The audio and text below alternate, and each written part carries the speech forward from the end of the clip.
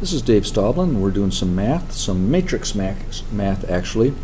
And let's say we have this figure that is represented by the points A, B, C, D, and E. Um, and here are the coordinates.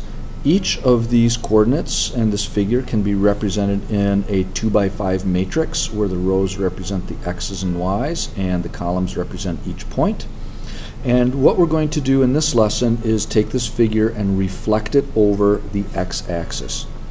If we do that, some of these points remain in the same spot. Point A stays in the same spot, so A prime is 0, 0. Point B stays in the same spot, so B prime is 8, 0, and that's because those points are on the line of reflection. Point C, instead of being up 5, goes down 5, 1, 2, 3, 4, 5. And so this point, C prime, becomes 8, negative 5 and then point D, 5, 5 becomes point D, and it's 5, negative 5. And then this point 3, 2, point E becomes E prime 3, negative 2. And then we can connect these lines and we have the reflection of our figure over the x-axis. Now what we want to do is we want to um, multiply our original pre-image matrix by a reflection over the x-axis matrix such that we get the figure in the new location which is 0 0 8 0 8 negative 5 5 negative 5 and 3 negative 2 now what I want you to notice here is that when we reflect over the x axis, all the x values remain the same, but the y values become negative. So if we have an xy coordinate and we reflect it over the x-axis, we're basically taking the y value and, and changing the sign. Alright, so we need to figure out what can we multiply this matrix by this reflection matrix to get our, our image matrix. So I'm just going to pick one of these values. I'm going to pick this element right there. That's element row 1, column 3.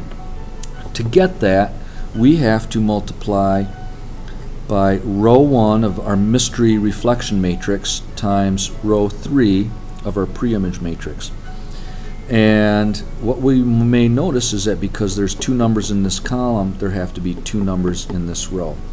So mystery number, or mystery number here is multiplied times 8 and then this mystery number is multiplied by 5 and it needs to equal 8. So how can we fill in these mystery numbers so that this side of the equation equals 8? And what I see is if we do 1 and 0 that our equation is true. So this row of the matrix is 1, 0. Let's do the same thing now for um, this element which is row 2 column 3 and um, so we're going to do row 2, column 3.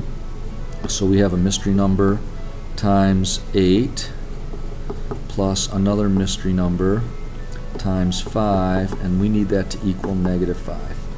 So what numbers can we plug in here? I'm envisioning 0 and a negative 1, and now both sides of the equations are equal.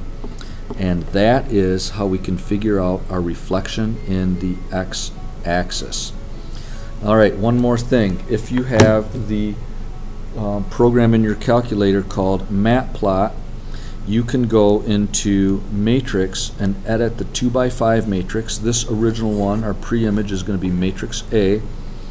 And it's 2 by 5. We're going to put it in 0, 8, 8, 5, 3. And then the row is 0, 0, 5, 5, 2 and then um, I'm going to go into matrix and edit matrix B. Our reflection over the x-axis is going to be matrix B and we want 1, 0, 0, negative 1. Okay, quit out of there. Now, if we go to program and run the matplot program, you will see the original image, you will that's which is the pre-image, and then you'll see the image and we did reflect over the x-axis. You can use that same process to figure out all the other reflections.